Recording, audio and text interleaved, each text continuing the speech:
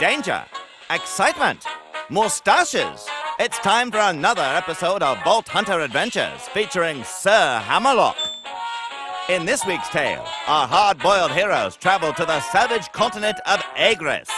Their goal?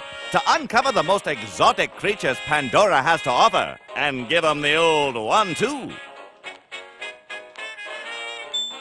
But danger looms on the horizon for our swell swashbucklers. For while Handsome Jack may be gone, his legacy lives on.